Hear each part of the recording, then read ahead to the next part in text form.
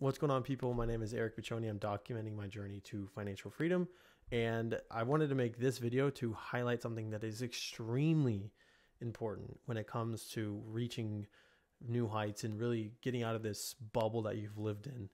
Uh, for uh, quite some time, we've had some challenges with like finances, not now, but like back backwards, maybe two years ago. There was just a lot going on. I mean, we're young. We, we still have to like get some momentum with our, our financial statuses and and get some some things moving on our end.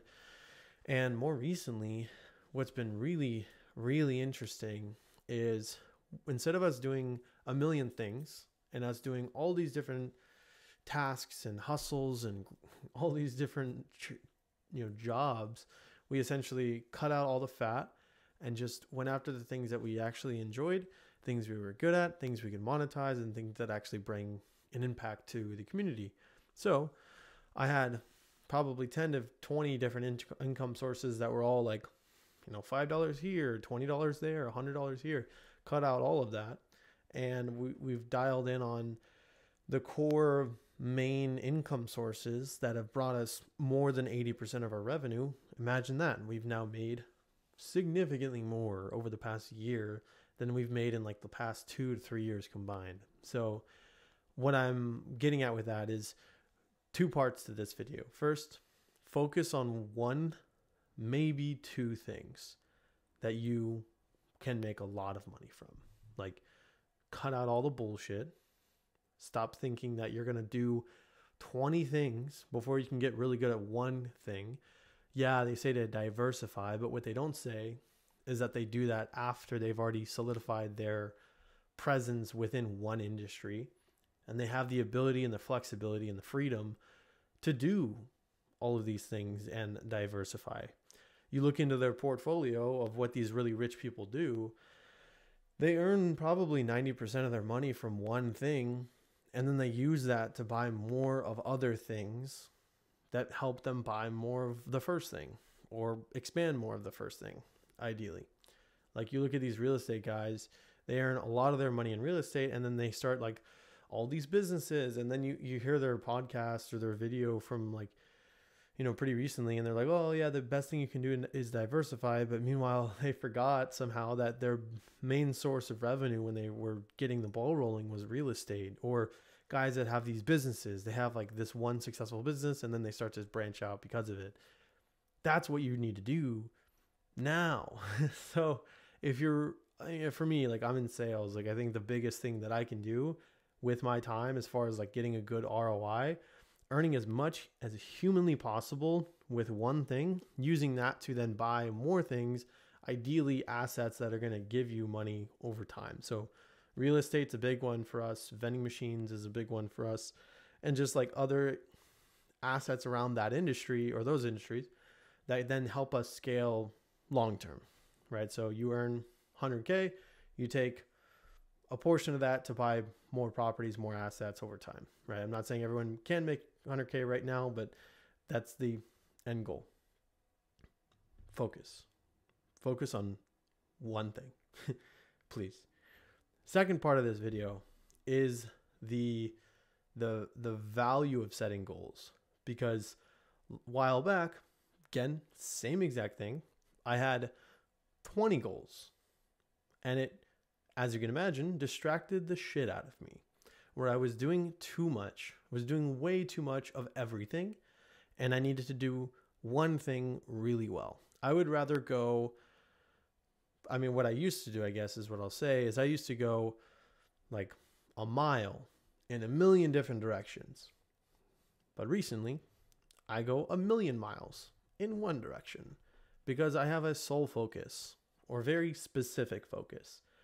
So, what my wife and I do is instead of us having 20 goals, and you know, for us, we do annual annual goals or yearly goals, rather than us have like 20 goals that we have to do every month or that we get to do every month, do you know break it down into like daily ta- daily tasks or whatever.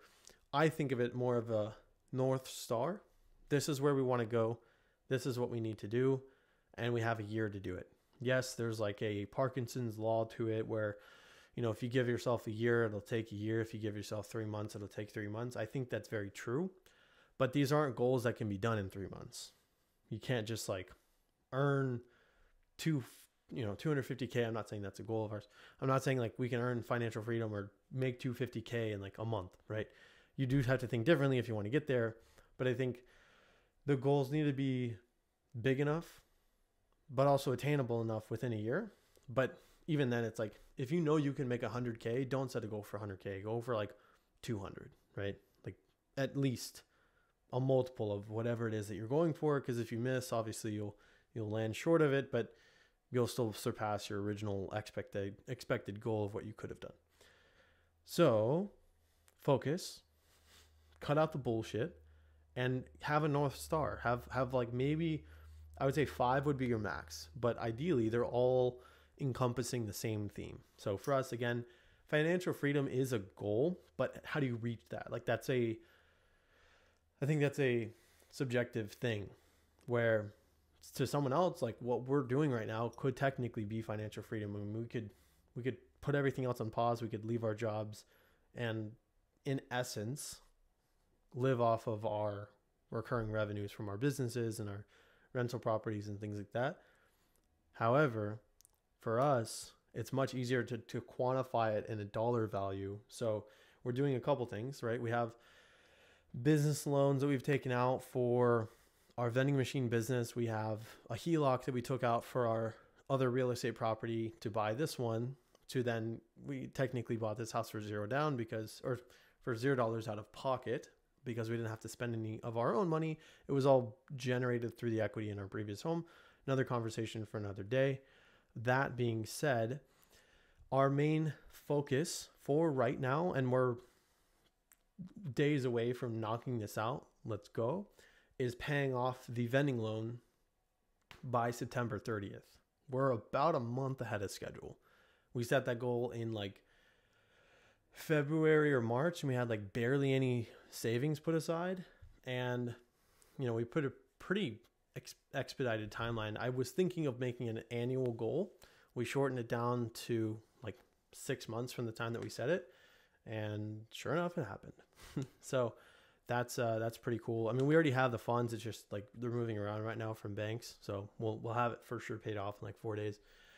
And then the other thing is like a quantifiable number not only on the debt pay down, like debts paid off by the end of the year. That's another goal of ours. Um, and a more short term goal, again, is paying off just one specific loan, the vending loan. And then come the end of the year, the other part of it is we want to earn a certain revenue number by the end of the year, which is 250K. It's not super simple. Like you have to think, how can I, how can I do it? Not, you know, I can't, right? You have to think how bigger, like open ended how is this possible? So, again, getting right into it. Again, doubling down, focus, focus on one, maybe two things, both on a day to day aspect, but also like long term goal aspect. You need to stop doing too many things. You need to stop distracting yourself from all of these things that you told yourself were cool. I promise you, on everything that I own, the thing that has helped us progress the fastest in our life is focusing on the critical few that are going to move the needle the fastest, being patient, and focusing on a long term horizon as well, having that as your no- North Star of, you know, this is where we want to go and this is where we need to go and need to stay if we want to achieve the goals that we set forth for ourselves. So I hope that helps. Let me know if you have any thoughts, any comments, any feedback on the, on this video. I want to make this channel collaborative and I want to share what we're experiencing along the way in terms of reaching financial freedom because a lot of people that have already gotten there, they've lost the context along the way of what they did to get to that point, even like the day to day. So that's what this channel is about. Thank you for watching. Stay tuned. God bless.